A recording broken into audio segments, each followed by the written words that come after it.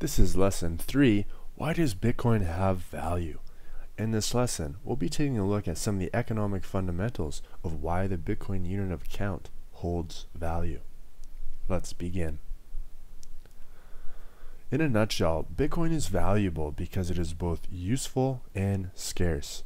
Bitcoin is scarce by design in that the currency is capped at 21 million units. There will never be more than 21 million units of Bitcoin in circulation, and we know this to be true based on the source code of the technology. Bitcoin is useful because it allows us to do things with money we've never previously been able to do. Bitcoin represents a sort of programmable money, and it operates on a digital economy which has no physical borders, and therefore represents perfect portability, perfect divisibility, among many other interesting functions that come with this form of money. The blockchain network Bitcoin is built upon as well allows us to upload digital files and information which can be stored in this network and verified cryptographically without the requirement of trust. The blockchain represents a sort of ledger technology that's accessible to anyone, anywhere, while simultaneously being owned by no one. Truly, the Bitcoin protocol is incredibly useful, and we're just beginning to scratch the surface of some of its very interesting uses. What does Bitcoin allow us to do?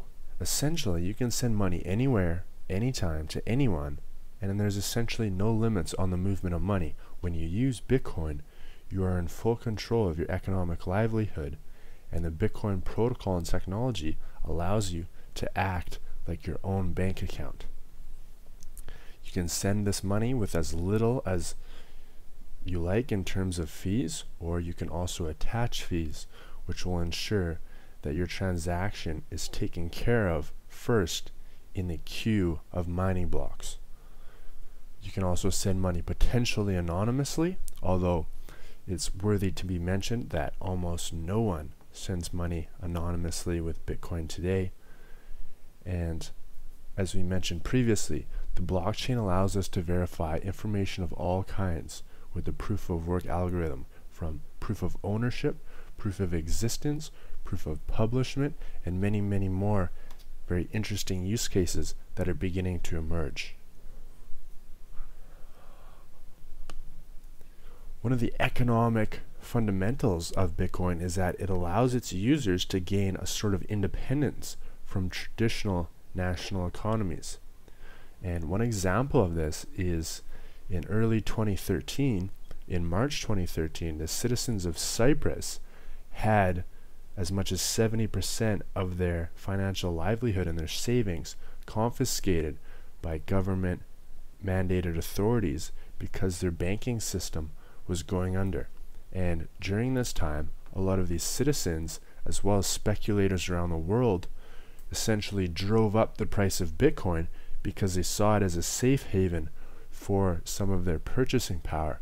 And if you look at the chart on the far right end, is the run up that we've seen in US dollars during this time. And this actually only shows a fraction of the run up because the price went from 20 all the way up to 266 US dollars during this bank run on the citizens of Cyprus. After that, there was a uh, price correction, but it goes to show that Bitcoin, because it is separate and independent from the national economy, represents a sort of safe haven for financial turbulence. And something we'll look in later is how this safe haven is actually anti-fragile or benefits from the disorder of national economies. That's it for this lesson today. There's no lab, but we will see you in the next lesson.